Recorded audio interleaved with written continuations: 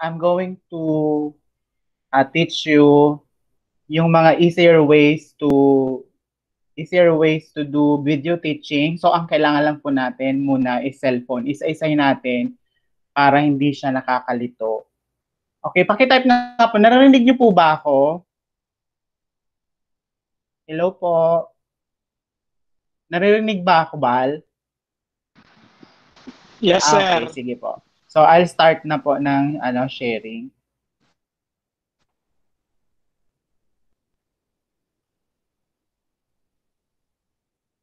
Sino may pa-admit entry?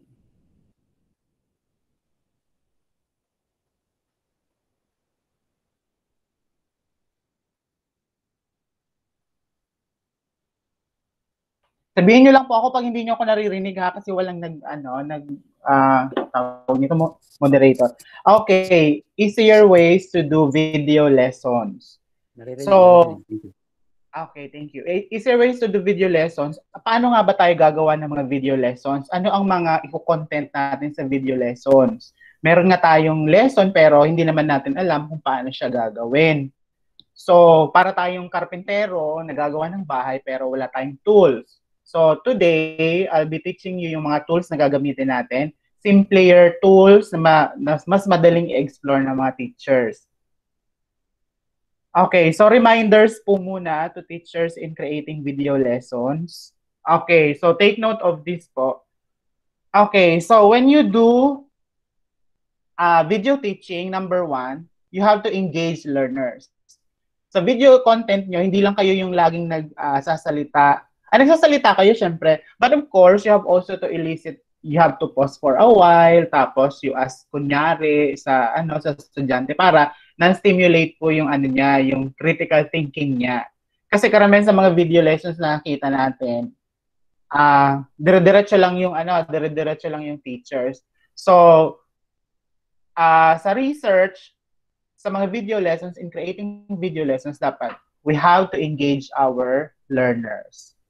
Okay, so yan po ang considerations when you do uh, video teaching. Number two, you have to imagine the classroom setup. Uh, the only difference kasi pag nag-video lesson ka, it's either naka, ano siya, pre-recorded siya, o kaya naman, hindi ka maka, of course, hindi ka makagalaw somewhere, so nakaharap ka lang sa camera. So, but you have to imagine the classroom setup kung paano ka nagtuturo. So, ganun lang ang gagawin niyo sa video lesson ninyo. And then, you have to focus. Make lesson easier. So, halimbawa, ang topic mo is addition of integers. Addition ka lang muna. Huwag mo muna siyang lalagyan ng subtraction. Huwag mo muna siyang lalagyan ng multiplication. Kasi, uh, according to research, ang uh, attention span ng bata ay hindi lalagpas ng 10 minutes. Kung lalagpas man siya ng 10 minutes, idadrop niya na yung video mo. So hindi na ma, hindi niyo na makakat siya. So you have to compress yung lesson niyo na gagawin. So say for example, yung iba nga 6 to 10 minutes lang, china-chunk-chunk nila yung lesson. So you have to make sure na yung video lesson niyo ay uh, shorter hindi siya sobrang haba na 30 minutes, ganon. Kasi yung iba, hindi na yan tatapusin. Ma, ano na siya, mabubore na siya. So, idadrop niya yan. And then, you have to develop understanding. Paano to ginaga, ginagawa sa video lesson ang develop understanding? So, do some questioning, art of questioning. Kunyari, nagtatanong ka sa kanila, bibigyan mo sila ng seconds to answer. So, yun. Hang, para at least nalalaman mo. Halimbawa, uh, will you please type sa chat box ang sagot? Halimbawa, ganon. Okay? So, o kaya naman, show your answer in front of your webcam. Something like that. Okay? Then, simulate classroom discussion na parang magkadugtong lang din naman to, yung imagine the classroom setup, then simulate classroom discussion. Later, I will give you, I'll show you an example. Ginawa kong ano, video teaching, pero pasensyahan nyo na lang at hindi naman siya sobrang perfect. Pero at least, you have an idea kung pa- paano siya nagra-run. Okay, it doesn't necessarily mean na marami kayo nakakita na super perfect na video lesson. So, kaya nape-pressure kayo na gumawa din kayo ng ganun sobrang kaganda. imagine natin na itong new normal, bago to sa atin. So, nagsisimula pa lang tayo. So, okay lang na uh, mag-video lesson tayo na ang gamit natin ay basic lang. Okay, tuturo ko sa inyo yung mga basic tapos yung advanced.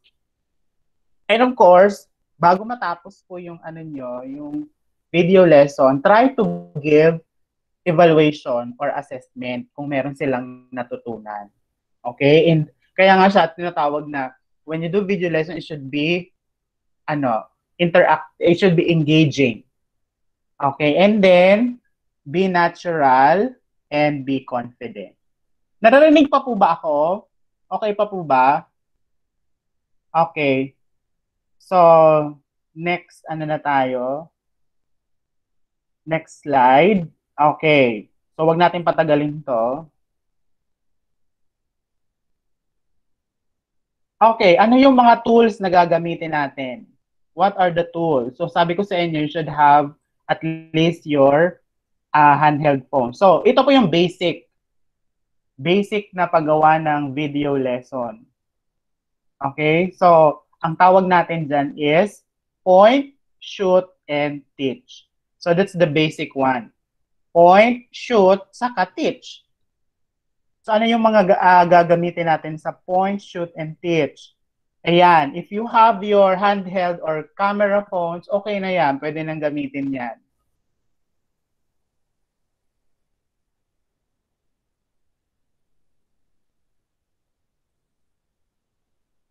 Okay, and then, kung meron kayong camera, o kahit yung ano lang, mga hindi naman sobrang high-tech na camera, kahit na yung ano lang, yung camera na pocket camera, pwede nyo gamitin siya.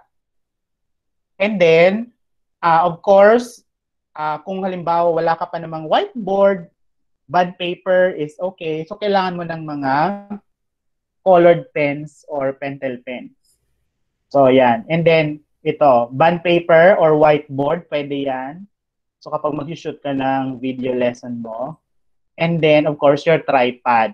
So, hindi naman requirement talaga ang tripod. Kasi kung may kasama ka naman sa bahay na pwedeng mag-shoot sa'yo, so hindi mo na kailangan. Ang tripod kasi ginagamit yan kapag wala kang kasama sa bahay at walang maghahawak ng cellphone o kaya ng camera mo. So, you can use your tripod. Pero kung meron siya, pwede na po yung ano nyo, yung pamangkin nyo na umawak ng cellphone, instructionan nyo lang siya. So, basically, sa basic uh, video lesson teaching tools and equipment, ito lang po yung gag- uh, gagamitin natin. So kung meron pa kayong pwedeng idagdag, so idagdag nyo na lang po dyan. So but those are basic. And of course, okay, steps. Unang gagawin natin, prepare your script or lesson plan. So since it's a video teaching, so ibig sabihin meron kang flow ng lesson. So you prepare your script, prepare your spiel, and of course your lesson plan. So parang magkasama din naman yan. Kung okay lang script na lang, wala na yung lesson plan, basta nandun yung flow ng lesson mo para guided ka. Hindi hindi siya ano, hindi siya uh, kalat-kalat. Okay, yung lesson mo. So may direction siya. And then of course, uh, set up your video equipment. Okay? Saan ka mag-shoot? Anong gagamitin mo? Papel lang bang gagamitin ko? Band paper lang ba? So, kailangan i-set up mo na siya. O kaya naman, gagamit ba ako ng Manila paper? Ipopost ko sa wall, tapos doon ako mag-discuss, tapos sinushoot ako. Okay? So, yon Or sa blackboard ba? May whiteboard ba ako sa bahay na naka-attach sa wall, tapos doon ako magsusulat? Pwede yon point, shoot, and save. Do not forget na kapag nagre-record kayo, baka naman nakapag-shooting ka na, hindi mo naman siya sinave, so uulit ka na naman. So, point, shoot, and save your file. Okay? Then, of course, edit. So, ang last ano talaga dyan is edit. Kasi sometimes, pag nag, ano tayo, nag, ah, tawag nito, ah, kapag nag, ah, discuss tayo, hindi naman talaga perfect sa buong 10 minutes. Siyempre may mga ano ka dyan, may mga mali ka dyan. Maliban na lang kung pre-practice mo talaga siya. So kahit nga practice natin, may mga mali-mali pa. So, uh, edit. Uh, remember, be natural sa pag-shoot. Kasi halatang halata kapag nagbabasa ka lang ng script. So, okay lang na isali yung mga nuances, yung mga ano mo, mga mannerisms mo dyan, okay lang. Mas okay, mas natural yon. Ang importante naman is makatch yung lesson. Kasi sa, sa ibang video lessons talaga, sobrang perfect na yung pagkaka-shoot. Sometimes, hindi na talaga siya lumalabas na natural. So, be natural, be confident. Okay? And then, Ayan. So, ito yung setup ng using lang yung bond paper o kaya whiteboard. So, halimbawa may tripod ka, tapos, i-mount mo lang siya, tapos nakatutok doon sa bond paper mo. So, basic lang to. Tapos, then, you have to record. Okay? Okay lang na baliktad siya. Huwag niyo muna intindihin kasi may editing naman eh. Pwede niyo siyang i-rotate or whatsoever. So, wag masyadong ma-concern sa ay hindi perfect yung pagkakaano ko pagkaka-mount ko sa ano sa tripod hindi nakita yung buong papel don't worry sa mga editing ano naman natin tools pwede nating maayos yan okay another one ito ayan this is an example of uh, setup this is an example of setup na ano siya walang nag-shoot sa'yo, kundi tripod lang ang kaharap mo. Yan usually yung ginagawa ko, naka-tripod. Okay, so yan. And then, ayan, pwede kang magturo sa whiteboard. Pwede kang magturo sa whiteboard, tapos isushoot ka. Kung sa bahay meron kang ganyan, pwede naman yan. Eh, paano sir kung wala po akong whiteboard? Pwede namang Manila paper remember, lahat, remember na hindi lahat ng teachers ay techie. Hindi lahat tayo techie. Kaya okay lang na ang gamitin natin is basic. What's important is makagawa tayo ng video lesson. So habang ginagawa mo yan over time, mamamaster mo yan. So wag din naman tayong ano, wag din naman tayong uh, puro basic lang. So we can also explore yung advanced phase ng paggawa ng video lesson. So, do not pressure yourself na ay um, ano hindi masyadong ano hindi masyadong super ganda yung pagkagawa ko ng video lesson. Hindi Sir, excuse po. Yes. Nagpapa-accept po si Teacher Yumi. Accept niyo daw po siya. Ay, sorry, wait lang. Stop share lang ako, ha? Sige po.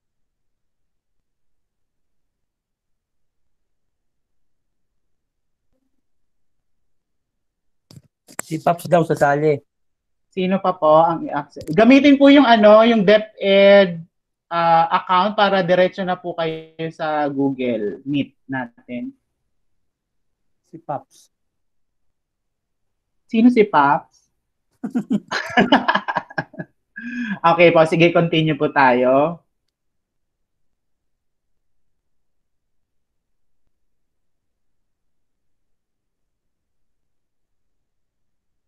Okay. So, we have, let's proceed to, uh, nasaan na ba ako? Okay, let's proceed to uh, sample editing tools. Or mga editing tools na tayo, di ba? Tapos na tayo dyan. So, I discussed this already. Naririnig po po ba ako? I hope naririnig nyo ako. Okay, so yan. So, yan ang mga setup natin. Okay, yan ang mga setup natin. So, kung basic lang alam nyo, pwede nyo gawin yan. Huwag ma-pressure doon sa software na super advanced. Okay? So, ang aaralin nyo lang talaga is uh, shoot na nakafocus doon sa lesson nyo. Huwag masyadong ikaw ang pinofocus ng ano ng uh, video mo. Dapat yung lesson mo talaga siya. Oh, alamin nyo yung ano yung proportion. Kapag nag sinushoot ka, dapat nasa ano ka one third ka lang tapos the rest ng screen mo yung ano yung lesson mo. Okay? So yan. And then okay sample editing using our InShot. So may ipi-play po ako dito na ano na pre-recorded. So I hope uh, may mapulot kayo para mas mabilis yung ano natin facing natin. So kindly watch this uh, short clip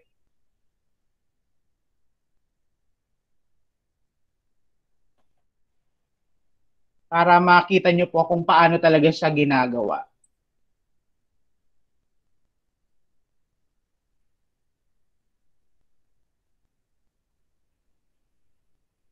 You can make your own video lesson. So, Or you can make your own video lesson. So, kailangan mo ng mga materials na gagamitin. O, syempre, kailangan mo ng bond paper para doon sa lesson mo, na-discuss mo kung math man yan. And then, kailangan mo ng camera phone. So, you have your camera phone, so pwede na yan.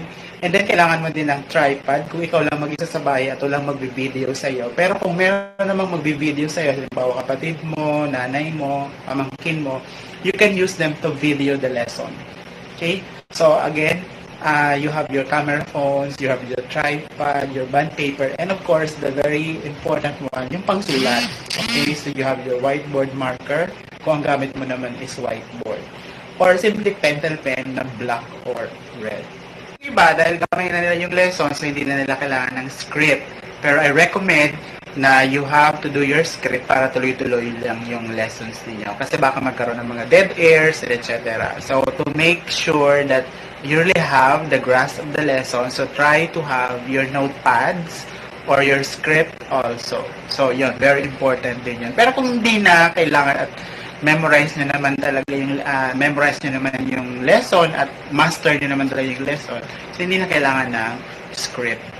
So, usually ganyan ang setup ko. So, may na-mount ko yung tripod na nakaganyan siya. Tapos, itong screen niya, ah full screen ko siya, nakuha yung bond paper. Okay, tapos, diyan ako magsusulat. So, medyo naka-angle siya na, hindi siya flat na flat, pero ano lang siya, naka, parang naka-tilt lang tong, ano, itong, ano niya, naka-tilt lang siya. So, then, tapos dyan ako magsusulat ng lesson. So, while naka-record siya, naka-video, nagsasalita ako, okay lang na, ano, na, uh, huwag niyo mo nang ayusin. Kasi sa editing naman, pwede siyang i-rotate para mas maayos. Tapos, pwede siyang i-crop para maging full screen siya. Ang importante, tuloy-tuloy yung, ano mo, yung discussion mo, tuloy-tuloy yung discussion mo ng lesson, ano, lesson na ginagawa mo. And then kung nagkamali ka, pwede mo namang ulitin, stop mo lang siya. Anyway, may editor naman. Sabi ko na mag-prepare ng notepad kasi sometimes iba nakakalimutan natin. So para lang sure, pwede mo siyang ipatong dito. Pwede mo siyang ipatong. So habang nag ano ka, nag-discuss ka ng lesson, so nag-glance mo yung ah, number na sinusulat mo. So it doesn't necessarily mean na, wa- na, ano, na hindi mo siya master, but just to make sure na ah, tuloy-tuloy tuloy-tuloy yung lesson mo. And that's the ah, ito ang role ng notepad. Or if you want to ah, put there yung ano mo, yung still mo, pwede naman. So, yun ang ah, yun ang role ng tripod sa kanang camera phones natin. So, dumako naman tayo sa editing. So, kailangan lang natin ng video editor na i download natin sa ating cellphone. So, marami naman yan. Turo ko sa inyo. So, umpisahan natin sa pag-edit. So, ngayon naman, ang gagamitin natin pang-edit ay InShot. So, again, let's go to uh, App Store or Play Store for Android. Tapos, uh, you just have to download yung InShot. So, para marami tayong ma-experience na uh, video editor. So, ayan. So, since na ano ko na siya, na download ko na siya, so i-open na lang natin siya. So, let's open the InShot. Tapos, itong video, dito tayo sa video. I-press natin itong video. Doon tayo sa new. Okay? And then, pag nag-pop up yung mga videos, so say for example, yung mga na-shoot mo na na video, halimbawa ito. Ayan. So, check. Ayan, lalabas na siya. So, tingnan nyo mabuti, nakabaliktad siya. You're going to play, So since we're going to express this again, Okay, nakabaliktad yung video. So, dito sa baba, if you're going to explore, meron dyan canvas, music, sticker, text, filter, trim, split, delete, background, speed, crop, volume, duplicate. So, para ma-edit mo siya ng maayos, so, i-rotate mo lang siya. So, kaya walang problema kahit baliktad siya. Tapos, i-fit mo siya sa screen. We express the area Okay. of the field as a function of its width panoorin mo yung video para alam mo kung saan mo siya ikakat at saan mo siya i-edit. So, it will become now A as the area as a function of x. So, since ah, wala namang masyadong, ano, wala namang siyang i-edit except doon sa spaces sa gilid. So, pwede na naman siguro yan. Ang importante, malinaw na nakikita ng ah, mga manonood yung tutorial na ginagawa mo. Pwede mo naman siyang i-crop ganito. Okay, so crop. Tanggalin mo lang yung mga hindi na kailangan. Pero yung ah, kailangan sa screen, kailangan na capture siya. Okay, o, sige, i-check natin. So, medyo ano na siya. So this is equal to na x siya. now. Okay. So, marami pa siyang ah, gamit dito. Napakasimple lang naman ng InShot na to. So, if you don't want, i-delete mo lang siya. Ayan, may, may delete dyan. And then, background. You can choose also your background. Halimbawa, gusto mo ng orange. So, magpapalit siya. Or gusto mo ng red. So, you have to choose. So, ito handheld lang. Kaya madali lang i-edit kasi nasa phone mo lang siya. So, ako, kung satisfied na ako sa gray, okay na ako dyan sa gray, i-check ko na lang to. Ibig sabihin, okay na ako dyan. Okay? And then, ah gusto mo siyang i-trim. So, itong gunting na to, itong icon na, gun, na gunting. So, just press this one. Tapos, the same, yung may ruler siya. Para din sa, ano, para din sa vlog it. I-move mo lang tong ruler na to kung saan mo siya gustong ikat. Okay? So, halimbawa, ikat natin siya sa gitna. Tapos, para makita nyo, i-preview nyo siya. times 120 minus x. Algebraically, if we're going to simplify this, So, yan. So, hanggang dyan na lang siya. so therefore, Okay. So, kung hindi mo naman siya gusto, ibalik mo lang siya sa dati. Okay? So, you can cut.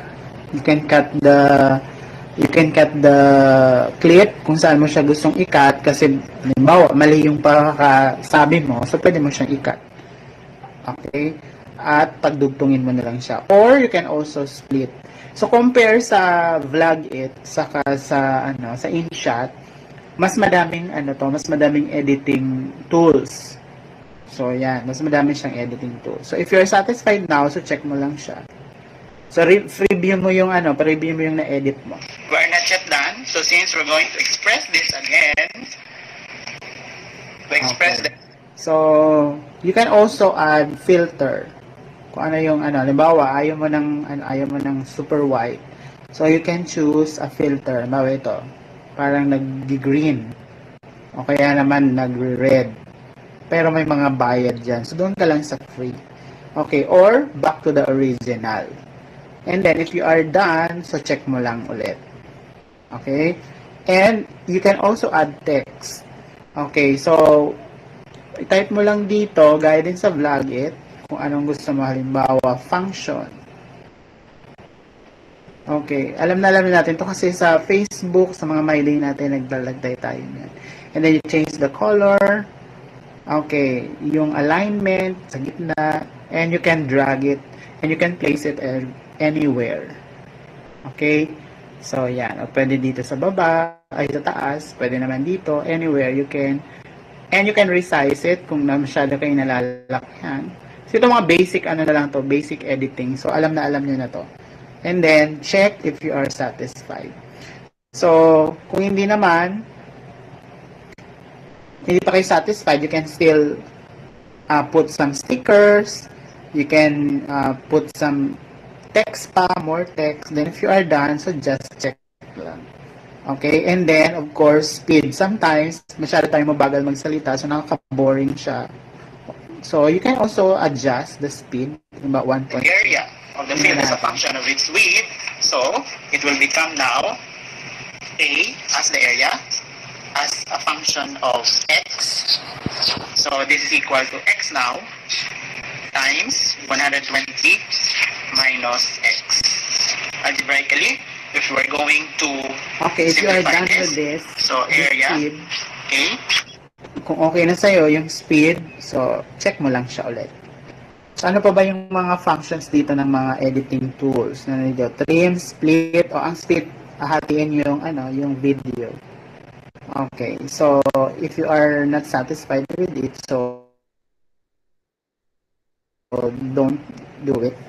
Okay, ako hindi. Minsan kasi pag wala namang mali masyado sa mga sinasabi mo sa pag-shoot mo pa lang, so hindi na kailangan ng mga split. Okay, what else? O, delete, background, speed, crop, nagamit na natin. Yung volume, you can also adjust the volume. a function of x, Okay, so kung masyadong malakas, a function of x, ayan. this So, equal now to negative ayan. So, if you are okay na sa speed, so just check it again. And what else? Rotate, flip. Ang flip is, ano mo siya, ilalagay mo sa, sa side. Okay, so baliktad siya. So, hindi siya maganda. So, ibalik mo na lang sa dati. Or freeze. Okay? So, kung hindi naman, so just go back. So, pag finish siya, hindi talaga siya na gumagalaw. Okay? So, yan ang mga We're not yet done. So since we're going to express this ito yung mga ano, ito yung mga ah, editing tools sa InShot. So mas marami siya kumpara sa Vlogit. So pwede niyo na rin tong gamitin. So yan, so ibabalik lang natin yung speed kasi ang pangit. So ibalik natin siya sa normal or sa object. again, Okay. So if you are already satisfied with your uh, with your clip, so i-save nyo na siya. Save nyo na siya para meron ka ng edited clip. So itong plus, makikita itong red na naka-plus. So ibig sabihin, ah, dadagdagan mo yan ng clip. Halimbawa, tapos ka na, gusto mong lagyan ng outro, punta ka lang ulit sa video. So tingnan natin yung outro. Halimbawa ito. Ayan. So, ano lang siya, dadagdag lang siya doon sa ano mo, sa clip mo. So, I hope may natutunan kayo doon sa maikling tutorial na yun. So, ganun lang mag-edit ng mga vlogs using your camera phones only. So, wala na naman ngayon problema yung mga camera phones kasi yung mga bagong mga bagong phones ngayon ay malilinaw na din naman siya. Kaya gamitin mo yung front camera Okay, kung wala ka nang gagalawin gusto, okay na yung pagkaka-edit mo siya, sa kanya, yung, yung lightings, etc., yung color. So, you can save now your video. Okay, so save mo lang siya. Okay, pili ka lang kung anong quality na gusto mo. So, usually 720 or 1080. Okay, let's go to InShot. Tingnan natin yung in-edit natin kung okay na. So, ito, i-press lang natin itong nasa taas. Tingnan natin yung nagawa. We're not yet done. So since we're going to express this again, to express the area of the field as a function of natin. width, so it will become now A as the area as a Tingnan function natin, tingnan.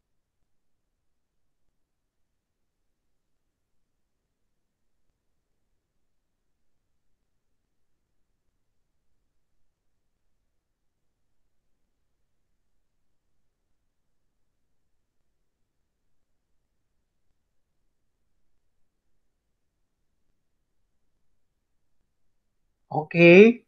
Hello po. Yes po, ma'am. Naayos din po. So if you have questions po, you can type po dyan sa, ano, sa comment natin, tapos sagutin natin. Yung audio, naayos din yun, ma'am. Medyo nag, ano lang siya, nagbabuffer kasi baka sa connections. Pero pag nag edit tayo ng, ano natin, pag nag edit tayo ng mga clips natin, ano siya, pwede mo siyang ayusin, yung audio. Pwede mo siyang hinaan, pwede mo siyang lakasan. Okay? So, yun po yun. So, ang ano lang natin doon is, yung pag-shoot natin ng mga clips natin. So, ba- dapat para tayo nasa, nag- nag-lecture talaga tayo. Okay? Para pag nag-edit tayo. Halimbawa, yung kasi sa akin, papel lang yon So, halimbawa, ang pag-shoot mo is para ka talagang nasa, ano, pisara o nasa blackboard ka magagawa mo din siyang ayusin. Tapos, intro and outro.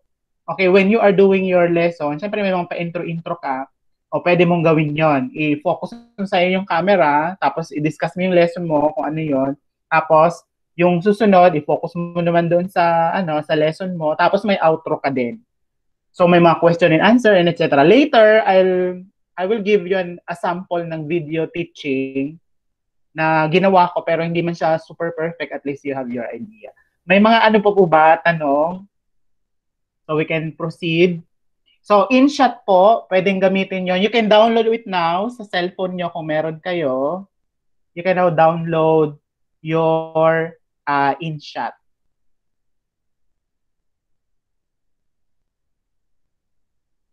Free lang po yan ang InShot. Pwede rin may iba may iba pa namang mga ano video edit, editing tool, may KineMaster. Kaya lang ang problema, meron siyang watermark nakalagay, KineMaster or something. Pero kung yung ibang software, wala na siyang mga ano watermark. So as if talaga na parang inedit niyo siya sa ano, sa computer. So 'yon. So ulitin ko lang po, uh, set up your cameras or set up your ano your equipment, shoot properly, then edit. So nakita niyo naman kung paano siya. So mamaya wala kasi yung ano doon, 'di ba? Itsura, wala yung ano ko mukha ko. So pwedeng ano, pwede niyo ilagay yung mga mukha niyo sa ano, sa pag inedit niyo siya. Okay? Pwede niyo ilagay doon para nakikita kayo ng estudyante. Ang mga estudyante kasi mas gusto nila nakikita nila yung teacher nila na nag nagsasalita. So, when you do video teaching, mas maigi na kayo talaga yung nakita ng bata. Okay, boses ninyo. Okay po? Walang watermark po ang InShot. Walang watermark ang InShot. Okay, so let's proceed na po para makadami tayo. So, yan, mga basic yan. Yung mga binibigay ko sa inyo, mga madaling gamitin. Hindi siya komplikado.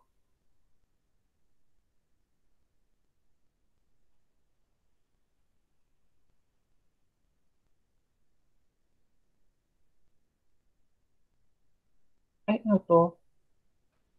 Okay.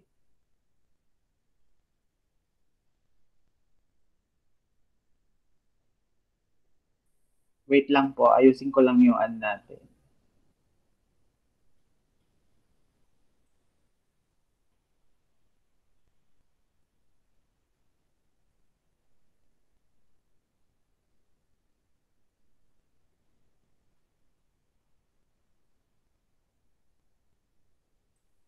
Okay.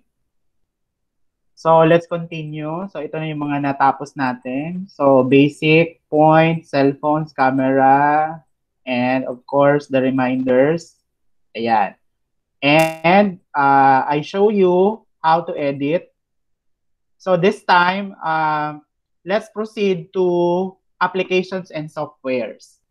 Okay, so, um, yung tipong hindi ka naman, uh, hindi mo isushoot yung sarili mo, but uh, you can use the applications like uh, Note, uh, Notepad, you can also use um, Blackboard, and etc. So, what do we need? So, dapat mag-download po tayo ng presentation or writing application. So, sa cellphone ninyo, pwede yon. And then, number two, this is very important kasi hindi kayo makakagawa ng video lesson kung wala kayong screen recorder. So ano po yung screen recorder? Ang screen recorder, ito yung nagre-record ng lahat ng ginagawa nyo sa cellphone nyo. Nakita nyo kanina yung uh, video clip ko, paano ko na-capture yung mga ano mga screen ng cellphone ko. Ang gamit ko doon ay screen recorder. Tapos, itong mga presentation writing applications, kayang-kaya nyo itong gawin. Kasi, ay kaya-kaya nyo to. Kasi pwede ang PowerPoint, pwede yung Blackboard at uh, Blackboard app, and etc. Marami, ibibigay ko sa inyo isa-isa. Okay?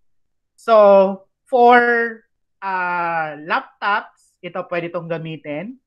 For laptops and desktop, may view board, open board. Yung OneNote nyo, pwedeng gamitin yon So, sa laptop nyo, check nyo doon sa uh, installed kung meron na kayong OneNote. Kasi kung meron na kayong OneNote, mas madali siyang gamitin. Then, PowerPoint.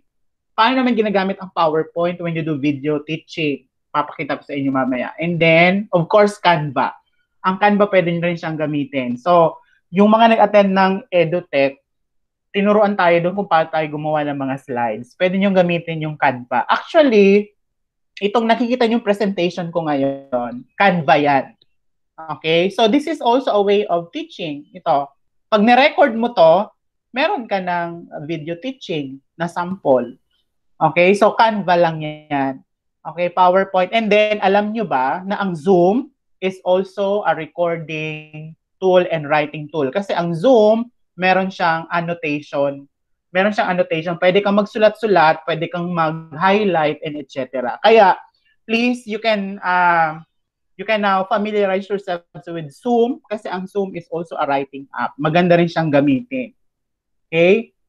And for cellphone, itong ginagamit ko, napakasimple lang nito, Blackboard app and Whiteboard app.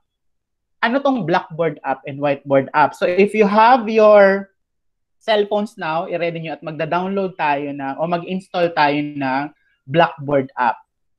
Okay? So these are examples of presentation or writing apps. Napakadali lang nitong gamitin.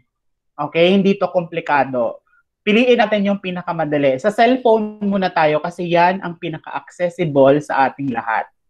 Okay? So ito, how to use the Blackboard app. Download the app from the Play Store. So nasa, nasa inyo po ba yung mga cellphones ninyo, hawak ninyo? Go to Play Store at hanapin niyo po itong Blackboard app na to, itong Magic Slate. Blackboard Magic Slate. Kasi dati, yung Mimeo, kung familiar po kayo sa Mimeo, it's uh, gadget na kung saan nagsusulat, nagpipirma, nag, nagsusulat ng kung ano-ano. So this time, itong blackboard na to, pwede nyo na itong gamitin. Hindi nyo na kailangan bumili ng gadget na Mimeo. Ito lang pwede na. So download the app from the Play Store. Look at the logo. Ito po. Oh, and then download this. So I hope na download na natin. Sabihin nyo po kung mabilis ako.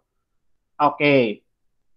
So if you download it, if na-download niyo na siya o na-install niyo na siya, ito ang itsura niya. Open the application. Para siya talagang blackboard. So hindi niyo na kailangan pumunta sa o kaya bumili ng whiteboard para kayo makapagsulat. Ito pa lang, sapat na. Ano bang mga sinusulat natin sa blackboard pag nagtuturo tayo sa loob ng classroom? You can simulate teaching using this one. Di ba? Sabihin niyo naman, ay, sa math lang yan uh, pwede. Hindi po. Pwede po itong gamitin sa lahat ng subjects. Lalo na kung uh, nagsusulat kayo ng mga key concepts. Halimbawa, definitions, solutions. Pwede ka rin dyan mag-attach ng pictures pag inedit mo siya. Okay? So, you can uh, screen record everything that you are writing here. Pwede mo rin ilagay yung mukha mo somewhere kung ang nakuha mong screen recorder ay merong nagka-capture ng uh, video. Okay, ituturo ko po sa inyo. Na-upload na po. I hope you uploaded and you open it. So once uploaded, open the application. Let us explore itong mga icons. Explore natin yung mga icons natin. Okay? So ito, makikita nyo sa gilid.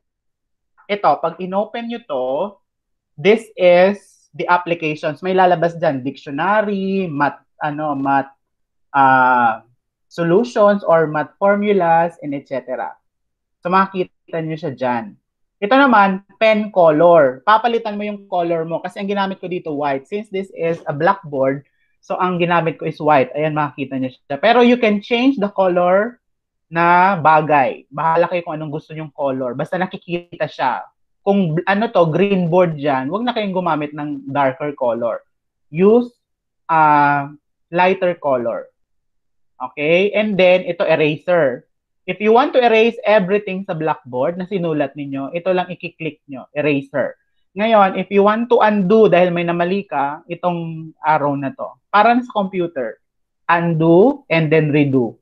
And then if you want to save your uh, lesson na nagawa niya dyan sa Blackboard, ito lang i-click nyo.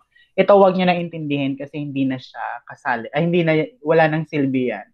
Okay, so save, redo, undo. I hope you are following.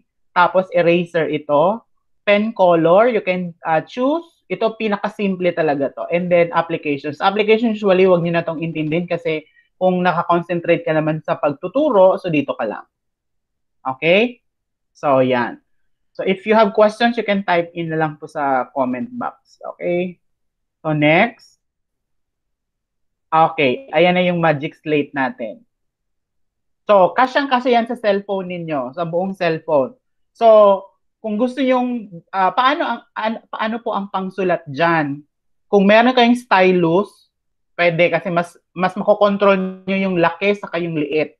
Magkano lang ang stylus sa ano, sa Lazada? May 100 plus, may 200 pesos. Pero kung wala talaga yung pambili ng stylus, yung ano nyo, daliri nyo, yung ano itong hintuturo nyo, pwede nyo siyang gamitin. Okay, kaya lang, ang problema lang sa daliri, kapag pinangsusulat mo siya, hindi mo makontrol yung laki at liit. So better, mag-invest tayo sa stylus. Okay, bumili ako ng stylus kasi niyo din siya sa tablet. Pero kung wala talagang pambili, hindi naman kayo fino-force, pwedeng kamay-kamay na lang. Okay, pero baka mahirapan kayo sa cellphone kasi maliit yung screen. Pero kung gamit niyo tablet, okay lang. Okay? So, yan. This is the interface of the Blackboard. Oh, simple lang to. Okay, Blackboard uh, can be used for lectures as if you are in a classroom. So using your stylus pen or your finger alone, you can write all the concepts and important key points of your lesson. And this is best used in math, in science, araling panlipunan, English, and other subjects where writing key points and lectures are a must. You can also post pictures here pag inedit nyo na. Okay, there are variety of chalk or pen colors to choose from to highlight concepts. Ba maano lang to. Okay? So, tips in creating your video lesson. Kanina, reminder. Ito naman, tips. Paras lang para. Parang paras lang. Prepare your script, a lesson plan. So, syempre may intro kayo, may content, may example. So, take note of this para ito yung ilalagay nyo dito sa ano nyo sa ano nyo video lesson ninyo introduction your content your example syempre exercise test and of course your assignment kasi di ba usually ang mga video lesson natin kung wala tayo ipopost natin to sa Google Classroom natin yung tinatawag na asynchronous kasi kung magla-live ka icha-chunk mo siya. Pwede kang gumamit ng Zoom na nagla-live ka tapos ipapasok mo yung content tapos may end ka, live ka ulit. So pwede yon. Depende yan sa diskarte ng teacher kung pa- paano siya magtuturo online. Yung tinatawag na synchronous teaching. Sa synchronous teaching, syempre nakikita ka live ng bata. And to maximize your time, gumagawa ka na ng mga video lessons para ipasok mo na lang siya. Okay? So, film shoot your lessons in a very clear and concise manner. As recommended, video lessons must not be too long. 15 minutes, napakahaba na ng 15 minutes. Siguro 10 minutes is okay. Learners have short attention span. And of course, age-appropriate video approach. Huwag kang magagawa ng ah, pang-kinder na video lesson na kung ano-anong mga colors dyan, shapes, and etc. Kung senior high school ka, yung ap- ap- approach na pang senior high school. Pag TVL yan, so wag kang masyadong mabilis, so dahan-dahan ka lang. So you have to emphasize concepts, tapos i-limit mo yung ano mo, yung content na o yung concept na ituturo mo sa kanila. Kasi hindi naman sila katulad ng nasa STEM na mas madali. Junior high school iba din siya. De ah, mga deaf and mute, mga special mga special children, iba din naman approach sa video lesson. More on visuals, more on sounds, and etc lalo na kung hindi naman nila mga hand gestures, ayun. So, mga pictures kasi hindi sila nakakarinig. So, iba yung mga approaches. So, kung senior high school ka, iba naman yung approach mo. Okay? And, of course, do not forget to edit your video lesson. Okay, yung mga unnecessary remarks, limbawa, nag, nagsasalita ka, tapos biglang tinawag ka ng nanay mo, nagsisigaw doon, huwag mo na isali yon I-cut mo na yon Okay? Lalo yung mga hindi, kas, hindi ah kailangan sa video lesson. Okay? So ito lang mga tips natin sa when we are creating video lessons. Okay, Sir, how to question record. po. Ah, yes, yes, yes. Pa, paano Yes, po ma'am. yung ginawa nyo dyan? Pa, ah, paano, paano i-type yung, kunwari yung ganyan, di ba? Yung. Naka-type siya. Anong, Oo. yung naka-type, opo, pa, paano po gawin mga yan, sir? picture, wait lang. Opo, yung itong mga yung ano, yung ginawa nyo ngayon, naka-type yung Ito? nakasulat ko sa blackboard, opo. ito, ito, Mm-mm. inedit ko lang yan gamit ang Canva. Pero pwede kang mag-live na magsulat. Ah, okay. So, pwede So, in- pala ang Canva dyan? Yes. Pwede, Na ano? Pero kung live ka, yung talagang ikaw talaga mismo yung nagko-compute, nakikita ka ng bata nagko-compute, pwede mong gawin. Ah, okay po. Papakita ko sige, sir. mamaya. Ah, sige, thanks. Okay. So, you have options. Pag inedit mo siya, ganito, pwede na siyang ganyan. Pag inedit mo siya using Canva and etc. Pwede kang pwede mo siyang gamitin. Ang dami talaga. Once you are already uh, adept sa ano mga applications, ang dami mo nang maisip kung paano siya gagawin. Pero kung super ano talaga yung video lesson mo, gusto mong may mukha ka tapos medyo parang ah, nakikita na gumagalaw ka, iba naman yon. Mamaya dadaanan natin. Okay? So puro lang tayo ngayon sa cellphone. Any questions pa po? Malinaw po ba? Please react naman po. Magsalita naman po kayo. Wala na. Okay naman siguro. So let's proceed po. I hope you understand. Sabihin niyo po kung mabilis, tapos may hindi kayo naintindihan, babalikan ko po. Okay? Uh, next. How to record. Paano po i-record yung screen recorder? So ito na po, i-ready nyo po yung mga cellphones nyo at mag-i-install po ulit tayo ng recorder. Okay? Ang gagamitin natin is the Super Screen Recorder. Ito po yung logo niya. Hanapin natin. Punta tayo sa Play Store. Please, punta tayo lahat sa Play Store. Look for the Super Screen Recorder. Okay? And install. So, magaling tayo mag-install ng mga applications. Okay? So, alam nyo po, ang Super Screen Recorder, pwede na rin siyang editor. Kasi, meron siyang mga ganito. Edit video, trim video, ayan, dubbing, kung may na ano ka, papalitan mo yung boses mo dahil mali, pwede yan. You can add also music, merge videos, compress video, and etc. Okay, meron siyang remove video watermark, pero may bayad. Pero ang screen recorder, wala pa ako nakitang ano, watermark nito. Okay? So you can also edit picture, so you can attach picture, you can also rotate video, and etc. So, 2-in-1 po itong screen recorder. No need, kung talagang ah, gusto nyo itong explore, ah, kahit hindi nyo naman kailangan ng mga iba pang mga editing tools, simple lang, kahit yung InShot, wag nyo nang i-gamitin, diretso na kayo dito mag-edit ng video. Okay? So, pwede naman. Kung ba, trim-trim lang, ganyan. So, merging of videos, pwede naman siya. So, yan ang kagandahan ng Super Screen Recorder as as a recorder and editor. Okay, naka-download na po ba? I hope nakapag-download na po tayo. Okay, next. Ayan. Ito na yung tinatanong mo, Val.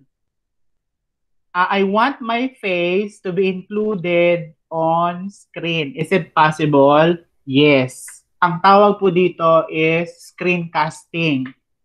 Screencasting because uh, we want to uh, simulate yung live na ikaw na nakalagay ka doon at the same time may ginagawa ka. Okay? So, ang tawag dyan is screencasting. I'll give you a uh, I'll give you a sample tapos i-explore natin tong screen recorder kung paano to ginagawa. Okay? Stop sharing po muna ako. Tapos I'll show you a clip, a video clip kung saan nakikita yung mga pagmumukha natin. Okay?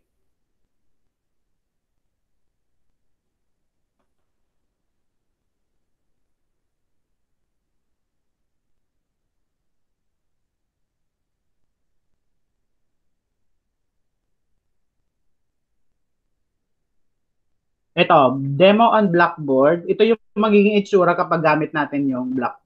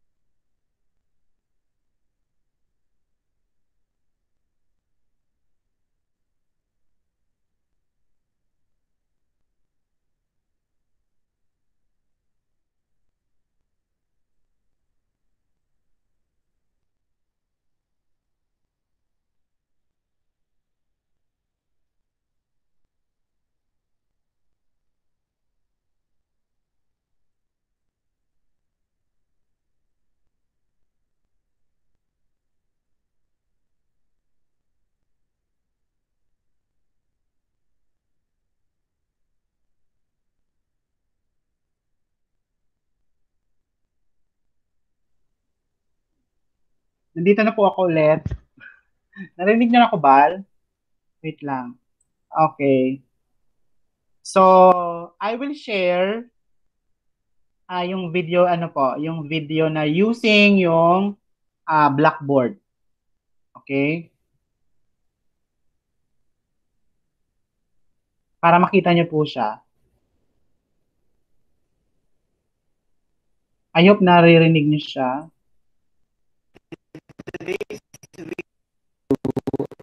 And negative 8. So, as I Medyo ano ang ano ang mentioned a while ago, matrices is an array of numbers, symbols, and expressions organized in rows and columns. So let us explore more about matrices. So let's take this matrix A with numbers 1, 3, 4, 5, 2, and negative 8. So, what is the order of this matrix? So, as another example, matrix B with numbers 1, 4, 2, 5, negative 3, and 5. Consider identifying the elements given in a particular matrix. Like Letters 3 by 3. So this is a 3 by 3 unit. So we have 1. This is also called a square matrix. Why square matrix? Because it has an equal number of rows and columns. Inspect again the matrix. So we have 5. And of course, the similar matrix. 1, 3 plus 8 is 11, 2 plus 6 is 8, and 4 plus 6 times matrix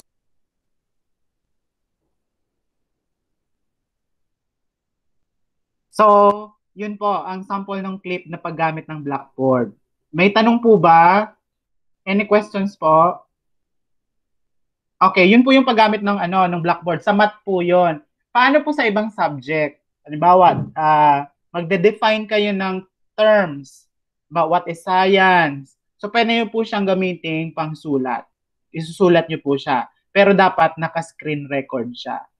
Okay? Para pag na-save mo siya, ma i-edit mo siya kasi naka-screen record siya. Pero kung wala kayong screen record at yun lang gagamitin nyo, hindi po siya, hindi nyo siya ma-share. Okay? Kasi hindi siya naka-screen record. Okay, doon lang sa ah ano nyo, sa tablet nyo, okay, sa cellphone niyo. Para nakita ng bata. Mapapansin nyo, wala yung mukha nyo doon. Okay, wala pa yung mukha nyo. Kasi, ibang application naman ang may mukha. Okay, so doon sa screen recorder. So, Blackboard plus screen recorder, good to go ka na for a video lesson. Tapos edit. Okay? So, any questions po? Okay, wala na.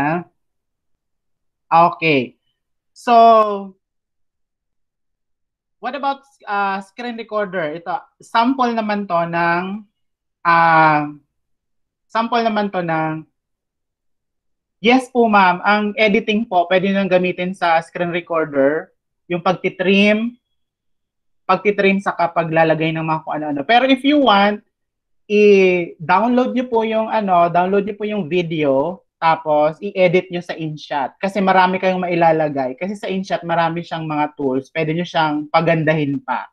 Maglalagay kayo ng mga labels and etc. So, depende na po yan sa ano, depende na po yan sa gusto nyong mangyari. Pero kung gusto nyo simple lang, okay na yon. Konti lang ang gagalawin ninyo. Okay, pero kung gusto nyo talaga na mas maganda siya, appealing siya sa mata ng bata, at mahook nyo yung attention niya, pwede nyo siyang ilagay, o pwede nyo siyang i-edit sa InShot. Kasi ako, puro InShot lang ang ginagamit kong editor sa cellphone. Napaka-handy niya kasi. Okay? So, I'll show you also ah, demo sa Blackboard app na may may ano naman lumalabas naman na mukha. Okay? May lumalabas naman siya na mukha. Ang gagamitin naman natin dito na na ano na app paki-download na po ulit the same procedure sa screen recorder. Ang ilalagay niyo po, ang ihahanapin niyo po sa Play Store ay screen recorder no ads. Ulitin ko po, screen recorder no ads.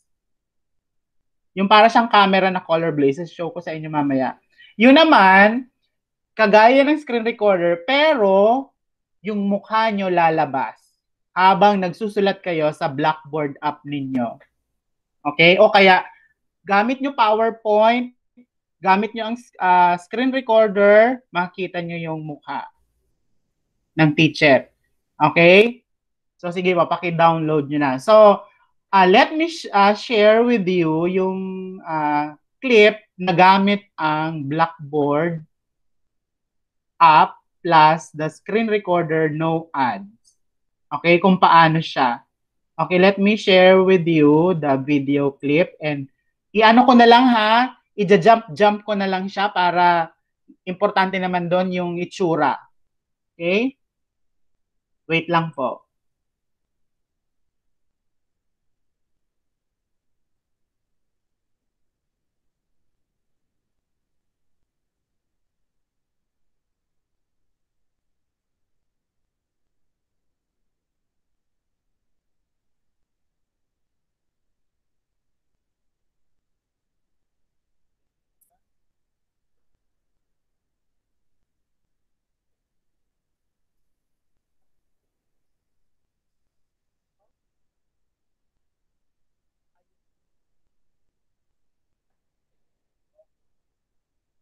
Ayan.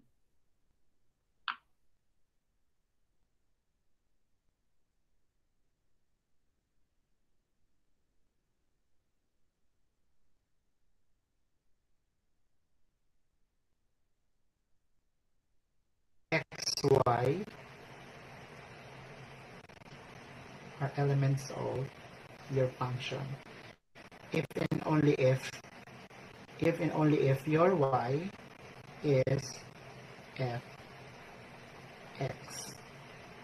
Okay, in this course, we shall be considering uh, the functions that are called the real valued function of a single variable. It means that the codomain of such function is the set of real numbers denoted by R.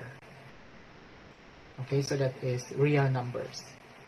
In particular, uh, we will we will be concerned mainly with the function whose domain is a subset of this real number. Okay, so that is the review of that is the review of our function. Okay, the definition of a function. Just to refresh you with what is function. So let's uh, consider an example of understanding more of what is function. So we're going to consider uh, we're going to consider the function defined defined by the rule. Say for example, we have function of x is equal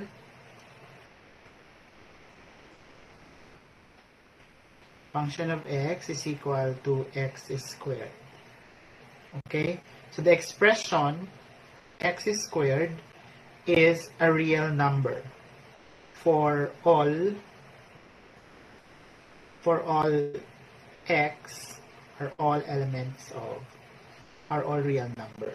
So domains domain of a functions of course are all real numbers. On the other hand, since x squared, we're going to take note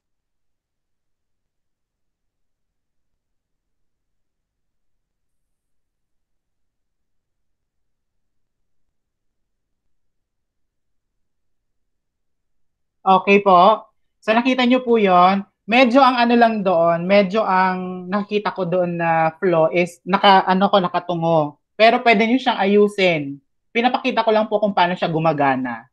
Okay? So medyo nakatungo ako. So dapat meron tayong connection sa bata. So tumingin tayo sa camera. Pero since you are writing, kasi yung writing pad ko nakalagay sa table. Pwede ko Sir, naman, camera po yun ng CP. camera po ng CP. Yes. Ah, okay. Thanks. Kasi pag ginamit mo yung screen recorder no ads, diretso na yon. You can move, pwede mong i-move yung ano mo, yung mukha mo sa gilid, sa gitna. Magbibigay ako sa inyo mamaya ng ng full video lesson. Ang gamit naman is PowerPoint na ang gamit ay ah screen recorder. Okay? Para nakakita niyo siya. So, bahala, I know you can do uh, better dun sa mga binibigay ko sa inyo. Mga ano lang yan, samples lang yan. Kasi, alam ko makagawa, maayos nyo siya ng mabuti. Okay, doon, ah pwede mong gamitin dalawang camera. Kung ayaw mo ng screen recorder, dalawang camera nakatutok sa'yo, tapos, ah pag inedit mo, i-insert mo na lang yung mukha mo. Kaya lang, kailangan nakasync yung boses mo doon sa ginagawa mo. Do you get po? Hello? so, pwede namang dalawa. Sabi na kasi ni, ano, ni Ada, dalawang camera po ba gamit nyo, sir? Pwedeng dalawang camera, nakahiwalay, tapos nakatutok doon sa ano mo, sa mukha mo habang nag-video ka, pwede mo naman siyang i-attach na lang pag inedit mo siya. Or, diretso ang screen recorder. Diretso habang nagsusulat ka sa Blackboard app. Okay po? Malinaw po ba? Ulitin ko po ba ulit? okay na? Ah, sige. So, next. Okay na. Val, oh, nasagot ko na ano na ba yung ano mo? Y- Yung ano mo sa math, problema mo sa pagre-record. Ayan, meron pa Val, mas maganda. You, you can also use your PowerPoint uh, using naman your presenter para mas maganda yung pagkaka uh, ano mo, pagkaka present mo ng lesson. Okay? So let's uh, proceed sa ating ano um, tutorial. Let me share a window again. Okay. So let's uh, continue this one. So screencasting po ang tawag doon. Okay? When you include your face sa video lesson nyo. Okay, anong ginamit natin for smartphones and tablets? You install the screen recorder no ads. So please take note of this. And I hope na i-ano nyo na siya, na i-download nyo siya o na-install nyo na siya. Okay? So, tips. Bago nyo gawin ang video lesson, before opening a writing or presentation application, open first your screen recorder. Unahin nyo i-open yung screen recorder niyo. Okay? Your face must not cover the presentation or lecture that you are discussing. Lalo na kung Blackboard app ang gamit ninyo. So, namumove po yung video. Yung mukha nyo namumove yon. Ilagay nyo doon sa lugar na kung saan hindi matatakpan yung presentation nyo or lecture. Okay? And of course, do not forget to save or close properly your screen recorder. And again, some screen recorders are also editing tools already. Okay? So, yan. So, I already shown you uh, an instructional video using your, ano, a sample video pala, using uh, the screen recorder no ads. Okay? May tanong po ba bago tayo dumako sa susunod? Pagod na po ba? Dire-diretsahin na natin to. Okay? So next is we have ito naman gamit ang mga laptops saka desktop. Okay na po tayo sa ano, cellphone. May tanong po? Wala na. Sige. Let's proceed to laptops and desktop. Sa laptops naman, saka desktop, ang dami natin pwedeng gamitin na editing saka screencasting. Okay, meron tayong Loom, Active Presenter, OBS Studio, PowerPoint, lalo yung PowerPoint Mix, saka Zoom. Pwede na ang Zoom gamitin na screencasting and others.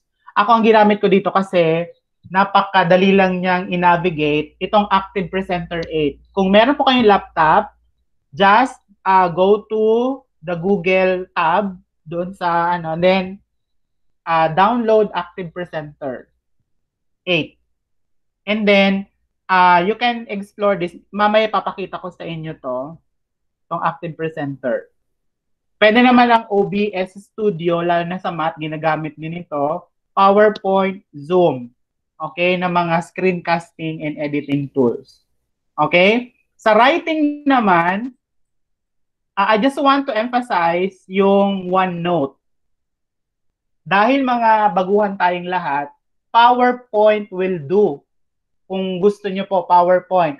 I'll uh, show you uh, video teaching using PowerPoint.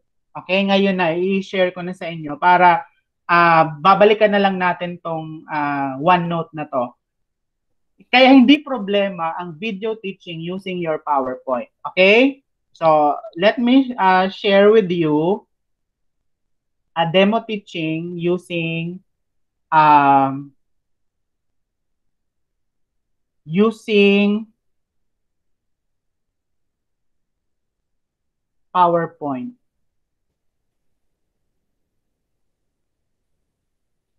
Okay? Oh, wait lang po.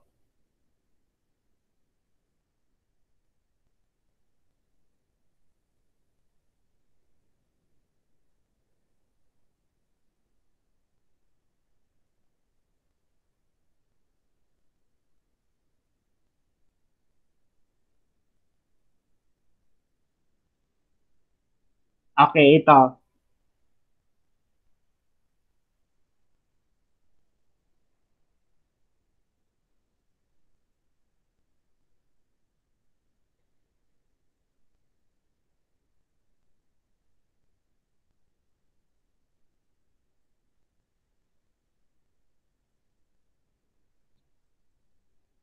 when I speak of relations, what comes into your mind? Good morning, everyone. Yan. So, using ano po yan? Using PowerPoint. So I hope you're doing good. So this particular moment, we're going to, I'm going to discuss, and you are going to understand relations and functions. Okay? So when I speak of relations, what comes into your mind? Or how do you understand functions? Or how do you relate or how do you define relations as a personal connection? Okay, so let's proceed.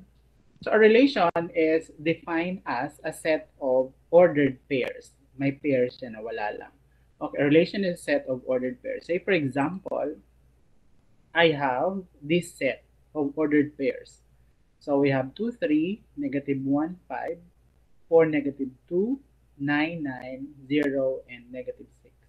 So these uh, ordered pairs are discussed when you are in junior high school. So this is not new to you. So the first, of course, this one is the x value and the other number is the y. Okay? So this is called a relation because this is a set of ordered pairs. Set of ordered pairs. How many pairs? There are one, two, three, four, five pairs of ordered pairs. Okay, so the first element in an ordered pair is what we call the domain. Okay, so the domain is the set of all x values in the relation. Will you please tell me the domains in this particular set. Okay, very good. So we have 2, negative 1, 4, 9, and 0. But when you want to write this formally, so you have to arrange this in increasing order. Okay, so the domain now is negative 1, 0, 2, 4, and 9. So these are the x values written in a set from smallest to largest. So that's the proper way of writing the domain. Okay, what about the range? The range is the set of all y values in the relations. So look at the example. So what are the range or what are the values? of the range. So we have, correct, so we have 3, 5, negative 2, 9, and negative 6. So let's write them. Okay, so we have 3, 5, negative 2, 9, negative 6. So the range now is negative 6, negative 2, 3, 5, 9. And it is written in an increasing order. So these are the y values written in a set from smallest to largest. So any questions? I hope um, it's clear. Next. So let's take this an example. So how can we tell if the relate if it is a function, the two given relations is a function. Say for example, I have a set of all x's and I have a set of all y. So let's see. So I have the elements here, 1, 2, 3, 4, 5. And I have also here the elements of the range are 2, 4, 6, 8, and 10. So a relations, a relation assigns the x with y. So let's assign. Okay. So how can we determine if this is a function? So this relation can be written as 1, 6, 2, 2, 3, 4, 4, 8, 5, 10. So the first set are all the domains, are all elements of the domain. The second set are the elements of the range. If we're going to write this, so we have 1, 6, 2, 2, 3, 4, 4, 8, and 5. Now, so let's determine if a given set are functions. So a function from set A to set B is a rule of correspondence that assign to each element x in the set A exactly one element y in the set B. So it should be one-to-one -one correspondence. The first one. In order for the relations to be called function, it should be one-to-one. -one. So let's take an example. Say, for example, I have this set A is the domain and set B is the range. So we have conditions. Take note. So must use all the x's.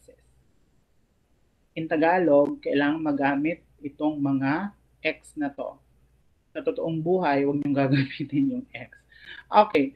Next, we have the x value can only be assigned to one y. So, kailangan ma-pair lang siya sa iisang y. Just the same with personal relationship.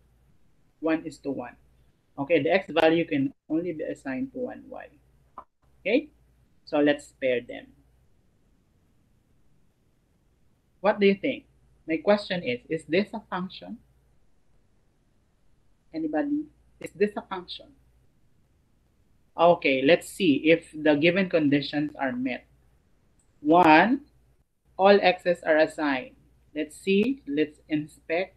Yes, all x's are assigned, so check. Next, the x value are assigned to only one y. Let's check. So 1, 4, 2, 2, so 3, 10, 4, 8, and 5, 6. So therefore, the two conditions are met. So therefore, this is a function. Okay, next. Let's look at another relation and decide if it is the function. If it is a function, let's see. Okay, take a look at it class. Okay, is this a function or not function?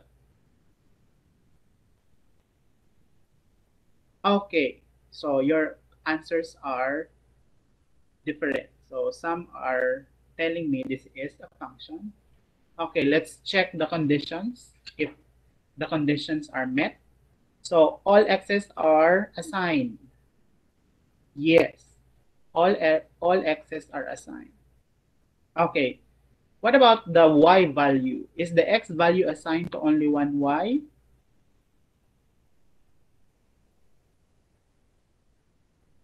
Okay, look at this. No x value has more than one y assigned. It's true. Okay, it's true.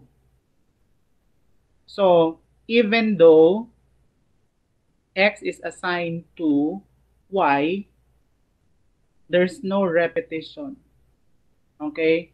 So therefore, the x value is assigned to only one y. So therefore, this is a function. So, many to one. Many to one. So, therefore, many to one correspondence is a function. Take note, many to one function is, a many to one correspondence is a function. I hope this is clear. Okay, next. So this is a function if it meets our condition. Next. What about this?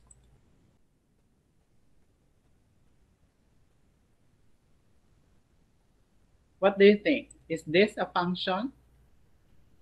Is the relation uh, shown above a function? Okay. I'll give you five seconds. One, two, three, four, five. Okay, time is up. So let's check if the conditions are met. Okay, the answer is no. The relation is not a function. Why? Let's take a look at it. Why not? So let's take a look at it. Okay, so a good example that you can relate to is students in our math class. The grade they earn out of the class is set B. So each student must be assigned a grade and can only be assigned one grade only. But more than one student can get the same grade, so that's a good thing. Say, for example, five students get 96. Okay, so the example shown in the previous screen had its students getting the same grade. So 2 was assigned to both 4 and 10. So therefore, uh, x's are assigned to 2y's. So therefore, this is not a function. Because the condition, 1x should be assigned to 1y only. Okay, so therefore, this is not a function. Check this relation, uh, thi- check this relation to determine if this is a function. Let's see. What about this? Already flashed on the screen. It is not. Why? Yes, it's already flashed on the screen. All of your elements are assigned except for 3. So the condition must use all the x's. So the x value can only assign to one y. So, but of course, 3 is not assigned. So this is not a function. It doesn't assign each x with y. Okay, what about this? Another example. This is fine. Each student gets only one grade. More than one can get A, and I don't have to give any D's. So all Y's don't need to be. So it's okay. If we're going to look at it, Y is not assigned to X. It's okay. So therefore, because the conditions, it must be the X. And the X should be assigned uh, to only one Y. So let's see, 1, 6, 2, 2, 3, 2. Even though 2 and 3 is assigned to 1 Y only, it's still consider. So 4, 4, and 5, 10. So this is a function. Okay. Now, for your exercise, so let me see. I have two questions here. So apply now what you have learned.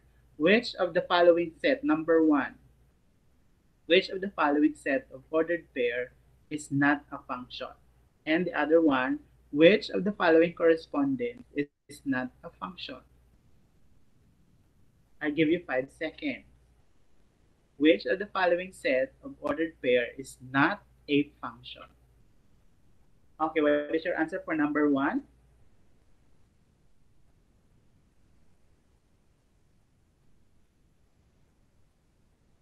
Okay. Letter D. D is not a function.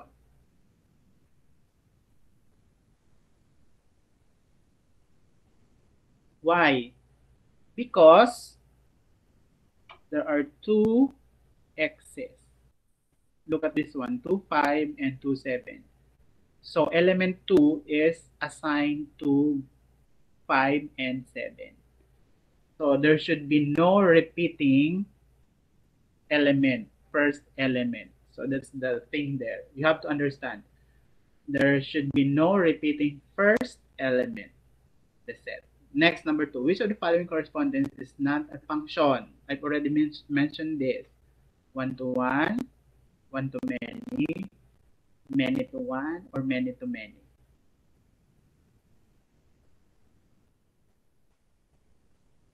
Okay, so we have one to many or many to one. One to many letter. Next, applying now the concepts of relations and function. Which of the following is a function? Clue. There should be no first element or there should be no 2x values. So in this particular graph, which is which of the following is a function? Which of the following is a function? Yes, it's letter it's letter C. Okay, how do you know this letter C?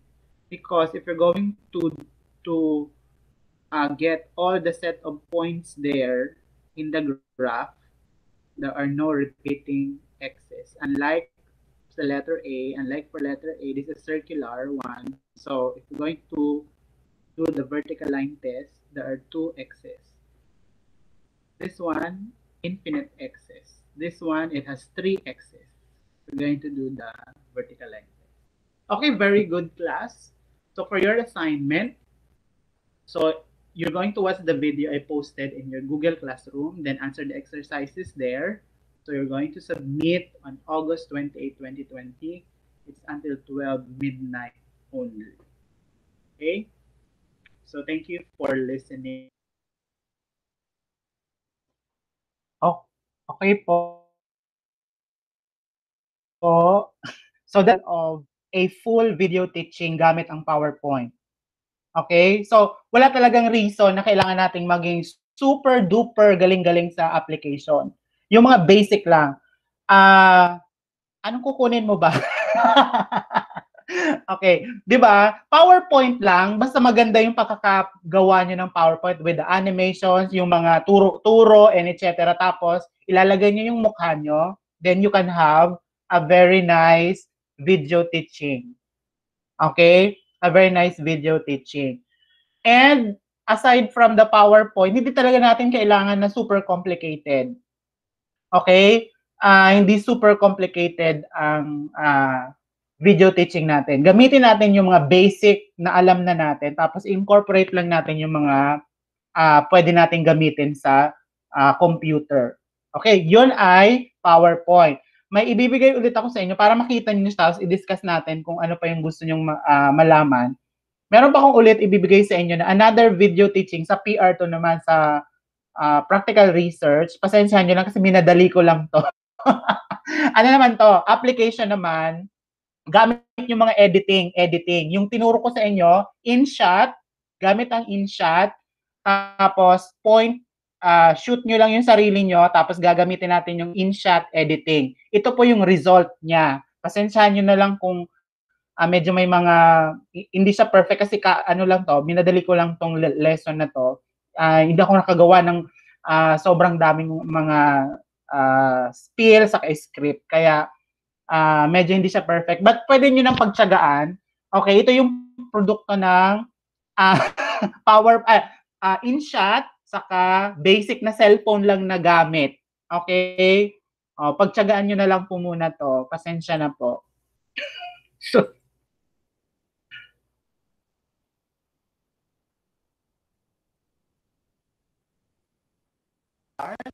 I want you to get I am expecting that uh, you'll be able to define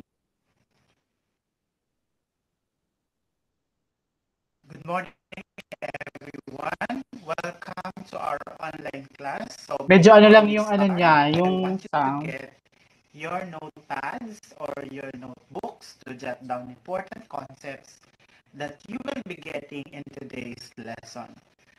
At the end of the discussion, I am expecting that uh, you'll be able to define research and of course, understand the significance of research in our daily life. So, are you ready? I hope so. So, when you hear research, what comes into your mind? So, I'll give you Pasensya na lang po 15 nung ano, Nag-ano siya, yung internet connection ko in the yan. chat box. Okay? So, begin.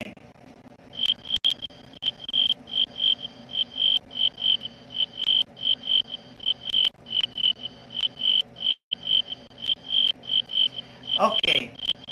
Some of you might be thinking of library. And some of you might be thinking of books. And some of you might be thinking of information search. Or maybe Google. Or maybe Wikipedia. Or other search engines. So that's what comes into your mind when you hear research. But you know, class, in our everyday life, we've been experiencing exciting adventures, challenging situations, and of course, surprising discoveries. And when you are confronted with problems, you find solutions and, of course, possible answers to it. And of course, when you do this, you embark on the process called research. So what are the real life applications of research? Can you give me one? You can show your answer on your camera. Okay, yes, you are correct. Research leads an expansion of knowledge and discoveries. Projections about the future, and of course, projection about the future events like global warming, typhoons, and other uh, natural phenomena. Innovations like your gadgets, your laptops, your smartphones, so research now involves systematic process of collecting and analyzing data or information in order to understand phenomena. So how do you define our research? So we have several definitions of research. Why is inquiry we start process? The cycle of research tells us that uh, the, the research starts with a problem and ends with a problem. So that's why it's an inquiry process. Another one, it is a formal process of problem solving. Okay, why formal process of problem solving? As, uh, as I mentioned a while ago, it always starts with a problem and ends with a problem. So the problem in research is that when you do not have a problem.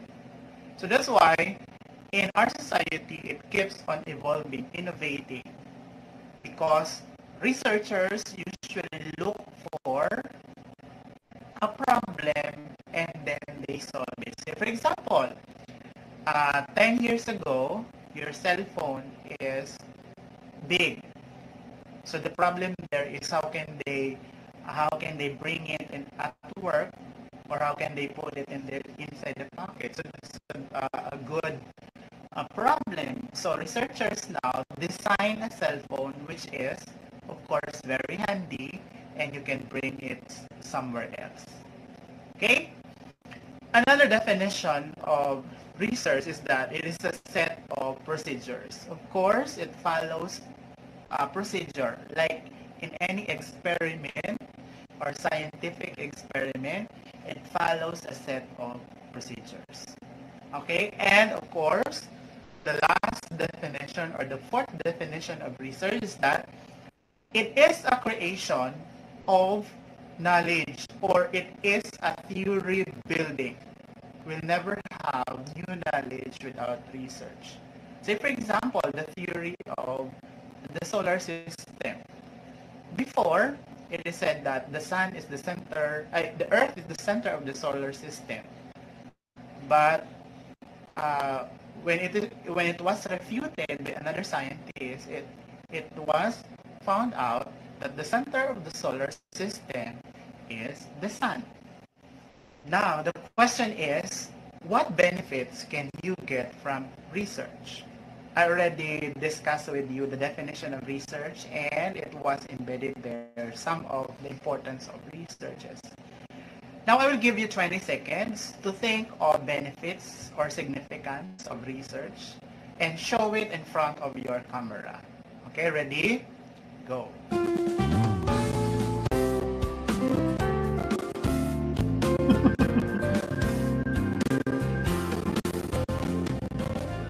Very good. So all your answers are correct.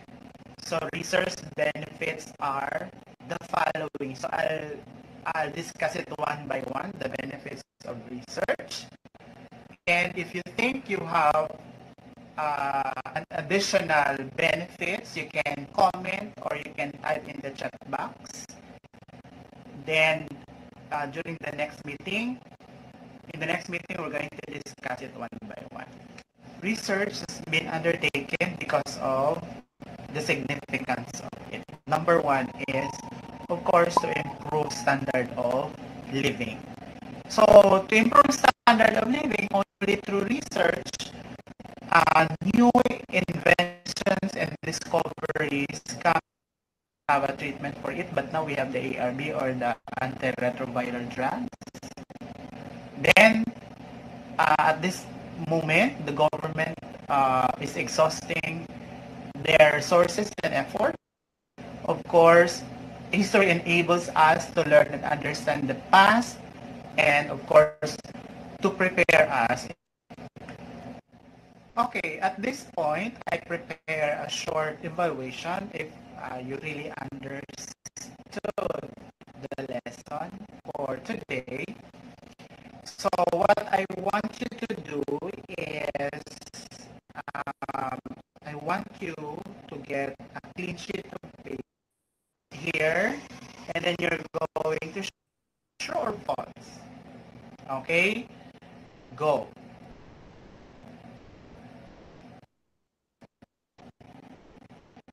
Okay, correct. It's true. Even in the field of education, still research is very useful. Number two, research have led many breakthrough. Research have led many breakthrough. Go.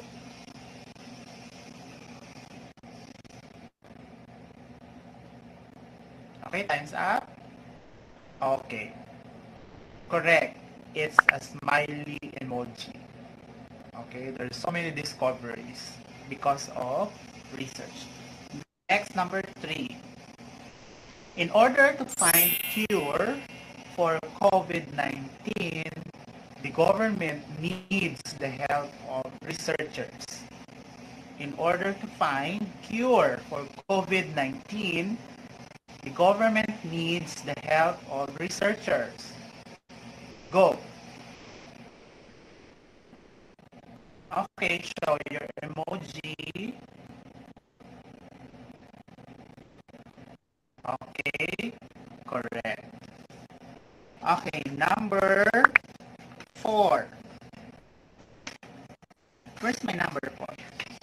Research can never solve problems of poverty. What do you think? Research can never solve problems of a problem of poverty. I repeat, research can never solve problem of poverty. Go. Show your emoji.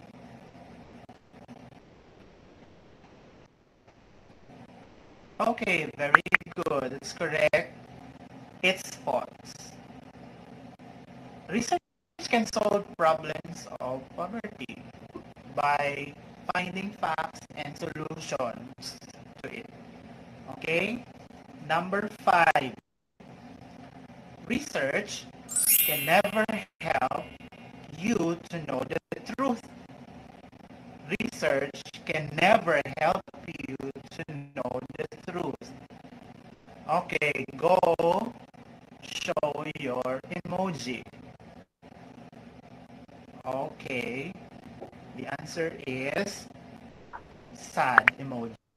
It's false. Course, research can help you to know truth. Okay, as I mentioned in the significance of uh, significance of research. So very good class. So now I posted the assignment in the Google Classroom. So you, you have your code, of course. So just have uh, do the assignment. The assignment is a free writing activity or a looping activity. So what you need to do is to write an essay about the general community quarantine. You have to write your thoughts and opinions about the GCQ. Okay? So it should be, of course, uh, in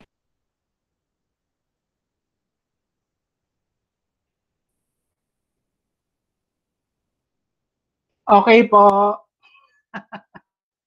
Pasensya na. Hindi ganun yon kasi yung internet connection ko. Narinig niyo po ako? Hello po. Okay. So, I know you can do better. Kasi yun, ano lang, ginawa ko lang. so, hindi ko masyado napulido yung script ko. Kaya may mga, ano, yung mga napansin akong ano, mali-mali. But, but, but you can do better. Okay? So, tanong ni ma'am kanina, kung pwede daw hindi ganun ka-close up. Yes, pwede po. Ang gamit ko lang doon, cellphone. Would you believe? Cellphone lang yon Tapos InShot. Kasi sa InShot, maraming mga mga sound effects na pwede nyo gamitin. Tapos yung mga idle time nyo, pwede nyo lagyan ng music and etc.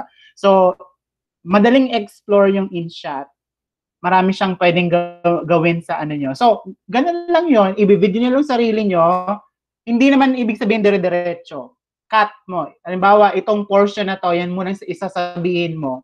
Mga 2 minutes or 1 minute. O, i-cut mo doon. Tapos, reshoot ka ulit ng another portion. Para ka lang nag-shoot ng pelikula.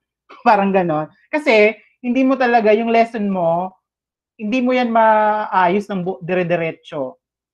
So, cut-cut ka lang. Tapos, since meron naman siyang dugtong sa ano, sa InShot, pwede mo siyang i-cut sa dugtong mo siya and then do the editing. So magkakaroon ka na ng ganong klaseng ano, video teaching. So kayang-kaya, kayang-kaya niyo 'yan, 'di ba? Kaya po. So i-ano lang natin, i-ulitin natin ha, yung mga pwede nyo nang gamitin na basic. Uh, using your uh, bond paper, tapos yung cellphone nyo, i-mount nyo lang siya gamitin nyo yung Manila paper, tapos magturo kayo, tapos i-shoot nyo lang yung sarili nyo, then do the cutting and trimming. Tapos, you can do your uh, Blackboard app. You can use your PowerPoint. Yung PowerPoint pala kanina, Val, yung nakita mo, ang gamit ko lang pala doon is, hindi Power uh, Presenter, uh, gamit ko lang is the Super Screen Recorder na no ads yung may picture. Pwede rin yung active presenter. But I guess, siguro, kailangan nating mag-set ulit ng uh, panibagong, ano, kung gusto nyo pa, panibagong meeting, para doon lang sa active presenter kasi i-explore yung, ano, i-explore yung, tawag nito, uh, i-explore yung interface, yung mga functions ng mga buttons and etc. Kasi madali din siyang gamitin. Maganda yung active presenter. Okay. Then, of course, yung OneNote. Uh, yung OneNote natin, meron na tayo niyan. Kung may, dahil meron tayong account ata sa ano. So, ang OneNote, pwede kang magsulat. Pwede kang magsulat, pwede kang mag-annotate. Zoom, pwede rin gamitin ang Zoom.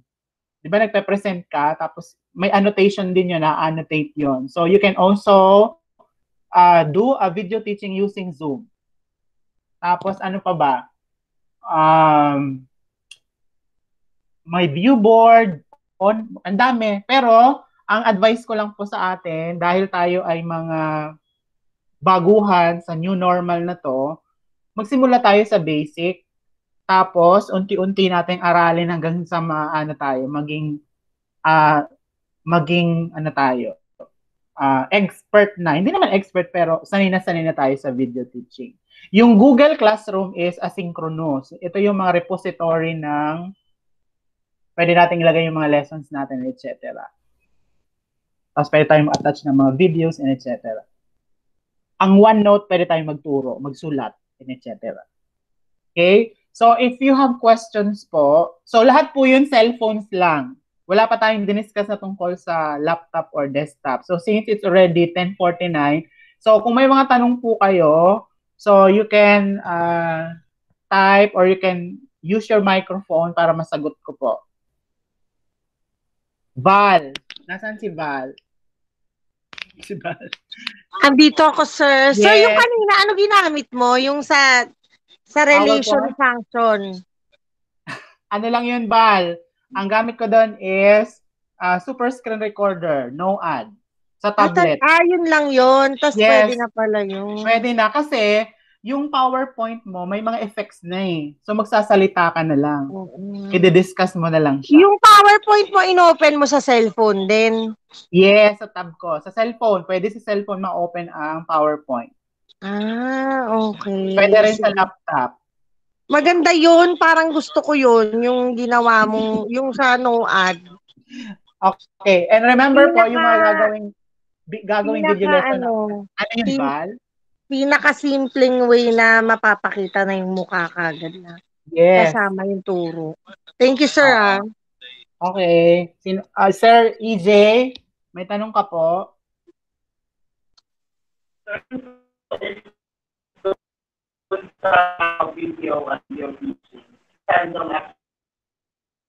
Ano po? Ulit nga po, sir. Choppy ka, sir. I-chat mo na lang, sir.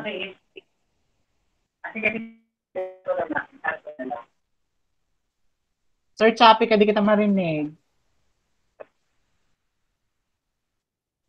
Sir, may question pa ako. Sa PowerPoint ba may ganon? Anong PowerPoint na may ganun? May pakita yung mukha. Kasi alam Yes. ko may audio recording dun eh. Di Meron ba? din ang PowerPoint, ah, PowerPoint mix. I don't know kung nandyan pa siya. Sabi ni Sir Dili Dili na wala na daw yung PowerPoint mix. Ah, okay. Wala nang ganon. Sabi si Shari, Shari, Shari, ayun Shari. Wala na daw yung PowerPoint mix na, ewan ko, tinanggal ata. Shari, meron pa bang PowerPoint Meron mix? sa Me- Ah? meron doon sa ibang ano version. O, ako meron Pero ang alam ko sa 36 sa 365 sir kasi since naka-add on naman na siya. Okay na kahit wala ng power mix. Meron na siyang sa slideshow. Oo.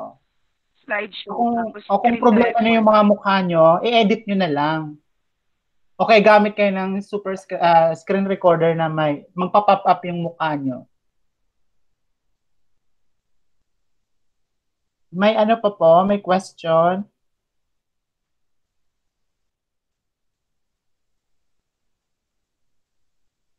Wala na po? Sige. Ay, ah, ang mangyayari yata, sir, sa video teaching is hindi tayo makakapag-interact. Opo, sir. Um, hindi tayo makapag-interact. Kaya lang, it's ano lang, simulation lang yon Kapag magsisynchronous ka, di ba naka-ano ka, naka-video, ano ka, ay naka, bawa, Zoom ka o kaya Google Meet. Siyempre, may mga parts na magtatanong ka doon. Pero minsan, kailangan mo rin gumawa ng ganon kasi ilalagay mo siya o kaya i-insert mo siya sa Google Classroom mo para pag binalikan nila, still pwede silang kunyari nag interact pa rin sa video teaching mo.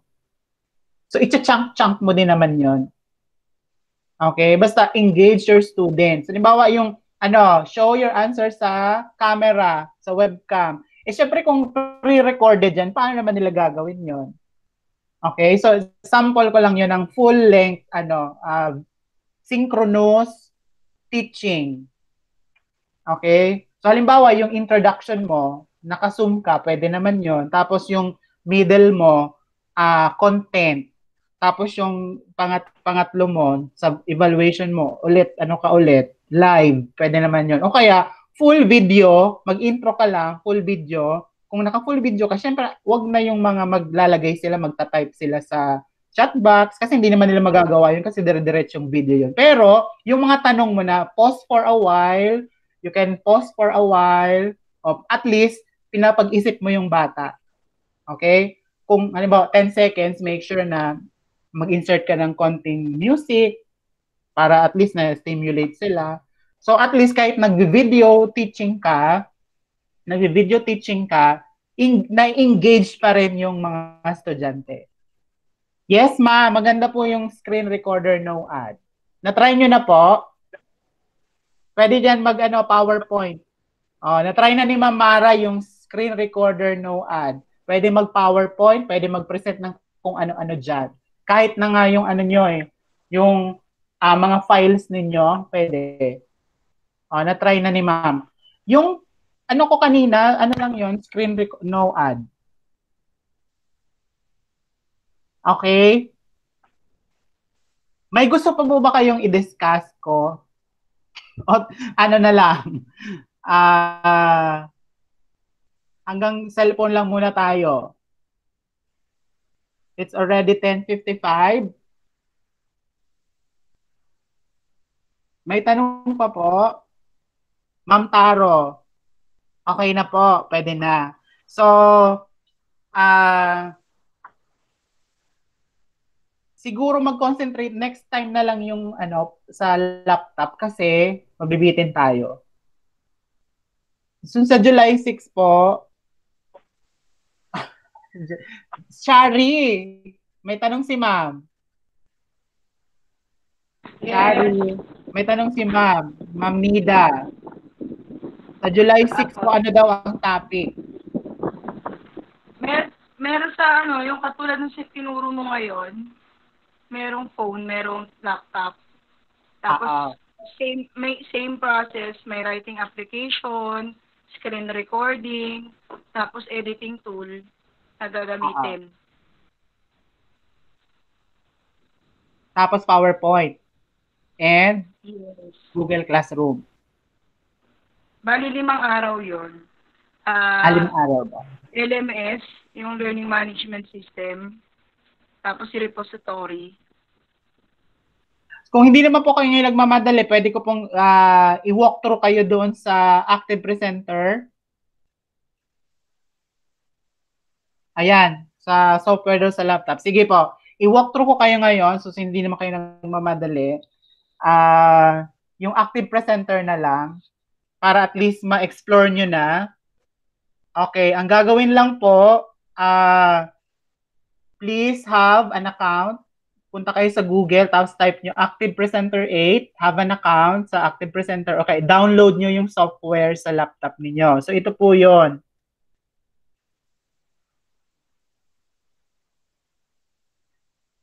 Wait lang po.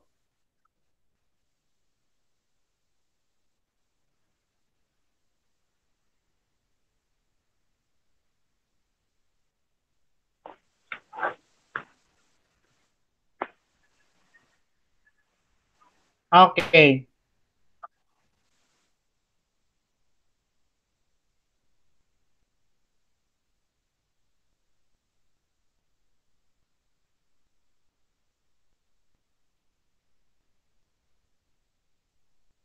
Tama ba to? Wait lang. Okay. So ito po, uh, i-walk through ko po kayo sa Active Presenter. Okay. Ito po yung ano, pag ino, meron na kayo naka-download na kayo ng Active Presenter. Ito po yung ano niya, interface niya. So dito may blank project, record video, record software simulation, response project, import PowerPoint, and etc. So kung gusto niyo pong mag-record ng PowerPoint nyo, dito kayo sa record video. I-click nyo lang po to, itong uh, record video. Tapos, makita nyo, recording area, full screen. Gusto nyo itong custom, tapos webcam. So since ginagamit ko kasi yung webcam, so hindi ko siya ma-open ngayon. So i-off ko muna siya kasi hindi siya mag ano, gagana. So off ko muna yung webcam ko diyan. So tapos volume and then record. So kung magre-record ka, i-hit mo lang tong record na to.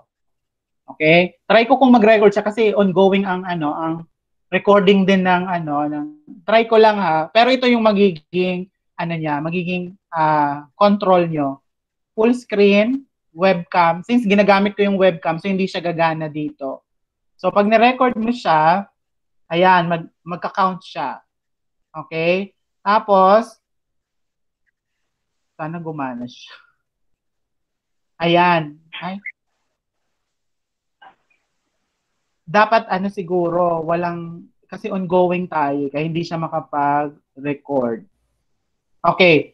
But, uh, pwede nyo siyang i-explore. Wait lang. Tingnan ko lang ah. Ayan, nagre-record siya, pero hindi hindi siya naka-video. Kasi, ginagamit po natin yung ay, ito na ata. Ito na. So, makita nyo, lalabas to. Pag natapos kayo mag-record. Okay? Pag natapos kayo mag-record, nandyan. Tapos ipi-play nyo lang siya. Naririnig nyo po ba ako? I hope naririnig pa ako. Naririnig niyo po ba ako?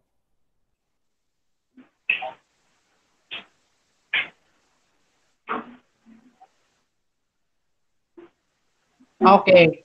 So, dito sa active presenter, makita nyo itong lalabas kapag tapos na kayo mag-video. Tapos ipi-play nyo lang siya. Wala lang siya kasing, ano, wala lang siyang video na naka-attach kasi ginagamit ko siya. Tapos, kapag tapos na po kayo mag-video, dito kayo pupunta sa export video. Export, dito po, export, tapos video. Export nyo yung video, ayun, masisave na po yung video na ginawa nyo. So, in other words, ay in other words, in ano, in simpler term, kung ano yung ginawa nyo sa laptop nyo, recorded niya with your face. Okay, kasama po yung face nyo. So, explore nyo na lang po ito. Okay? Yun lang po yung ano, yung uh, active presenter. Pag hinit nyo yung record is sa settings, dapat meron tayong ano, meron tayong with voice po, meron ma'am, with voice po yon. May voice po ang active presenter. Simple lang kasi yung mga ano niya, very user friendly siya. Tapos ah uh, kapag natapos na kayo, stop record. Tapos ano na yan, idadalin kayo niyan doon sa interface niya ay doon sa working sheet niya, ma-replay nyo yung video nyo, ma-replay nyo sa makakita nyo siya. Tapos kapag tapos na po kayo ng, uh, natapos nyo na siya, punta kayo sa export, then export the video. O yun na. So parang meron na rin kayong video teaching na gamit ang PowerPoint, gamit ang OneNote.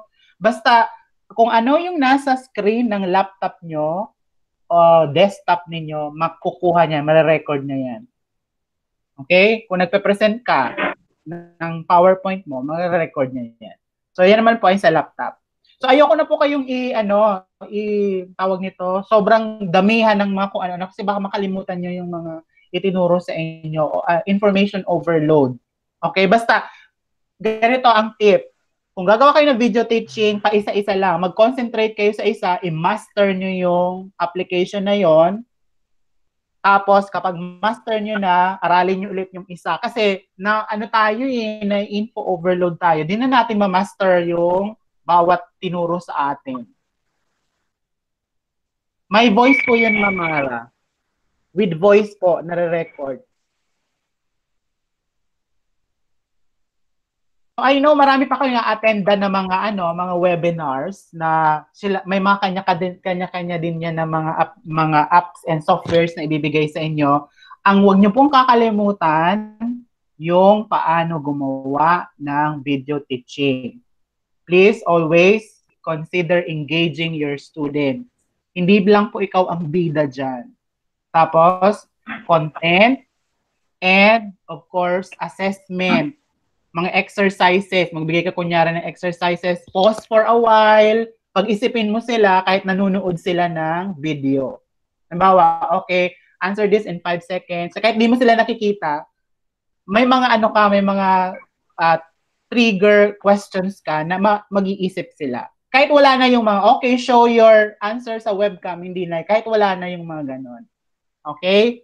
Kasi sa ano yun, synchronous yun eh. Kung nagla-live ka. Binigyan, kumbaga pinakitaan ko lang kayo ng ano mangyayari kapag magsisynchronous tayo. Synchronous teaching. Okay? So, itcha-chang-chang, pwede naman. Pero kung video teaching talaga na i-upload nyo, so make sure engage your students, uh, deliver your content in the in the simplest possible way. Tapos assess them, give them exercises, pause for a while para makapag-isip-isip sila, then evaluation. Then, oh, yun na. So, wag sobrang haba ng video kasi ang attention span ng bata ay sobrang ikli. According to research, 6 to, ano nga lang yan, 6 to 10. Tapos, nagda-drop na yan. Ida-drop na na yung video, hindi na makikinig sa inyo. Okay? So, I hope may naintindihan po ngayon. So, kung uh, if you really want a thorough discussion ng mga software, meron po tayong sinasishari na din si Sir Dili-Dili. Magagaling po yan sa IT. okay, so I hope may natutunan kayo sa shinare ko today. So, again, bago ako umalis, ano po, uh, keep it simple, basic. Kung namumblema po kayo, ano, doon tayo sa basic. Yes po, ma'am. Yung mga module po gagawa ng PowerPoint, pwede nyo pong i, ano yon, igawing video lesson. Okay? So, thank you so much po. So, it's already 11.05. So, sabi natin 9 to 11. Okay, thank you so much. Sana po may natutunan kayo sa shinare ko sa inyo. Thank you, thank you so much po. Bye! Thank you, sir.